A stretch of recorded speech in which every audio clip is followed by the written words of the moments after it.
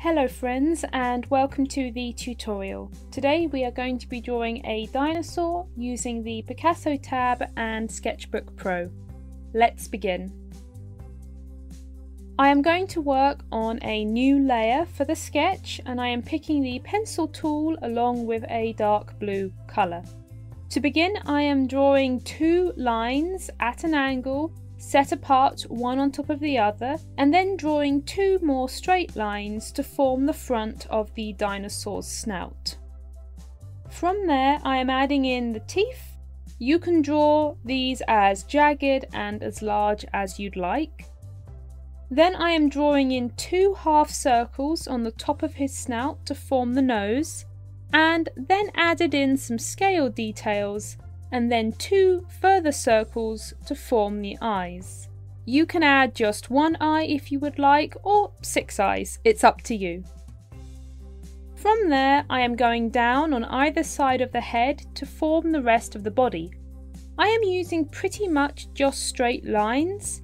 This is a stylistic choice and I like the boxy feel that it gives the final dinosaur design. The tail is curved up on one side, and then a curve or a half circle is drawn down at the bottom of his body to form one of the legs. And then I added the other leg poking out from behind the main belly line. Next is the ever important little arms. Make sure that they are ridiculously small and I drew them onto his main body section, one in the main body and then the other peeking out from behind. Then I added in scale details, drawing in a main set of lines coming down his whole belly, adding in some into the tail as well. It's usually a good idea to work on the main outline first before going in and adding in all the details. I also drew in some spots onto his back and tail. You can add as little or as many of these as you like.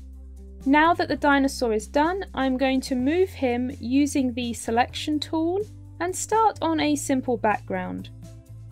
The first thing is to draw a straight horizon line behind him, just at the base of the belly, and then I'm adding in a few different landscape features such as a volcano behind him with running lava coming down one side, and then also adding in a couple of lines into the foreground to indicate where there are further hills and other landscape features. The final step for the sketch was to draw in the lines of the smoke rising out of the volcano. Now moving on to the outlines, this is a simple process. I create a new layer, then turn the opacity of the sketch layer down I picked a fountain pen tool, a dark brown colour, and turned the predictive stroke tool on. This will help keep the lines smooth. After setting those things up, I simply traced all the lines in the new layer, zooming in and out as I went. After I had the main lines completed, I went around the outline of the dinosaur one more time to thicken up the outer lines. This will help him to stand out from the background.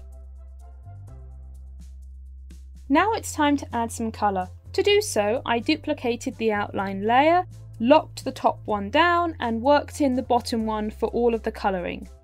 I chose green for my dinosaur today and then simply filled in the entire drawing, paint bucketing the different colours into different areas.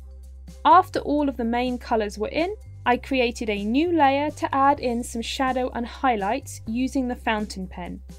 I chose a block style of shading, adding in dark lines in different places around the body, especially under the chin, around the tail, on the edges of the scales and so on. I then went in with a lighter green to create highlights, adding those on the top of the dinosaur's arms, on the jawline, tail, scales, etc. I applied some shadows and highlights to the background in the same way. This gives the whole drawing a little bit more detail. The final step was to add in a few white circles into the smoke and sky area and the dinosaur was complete. I hope you enjoyed drawing the dinosaur today. Thank you for watching.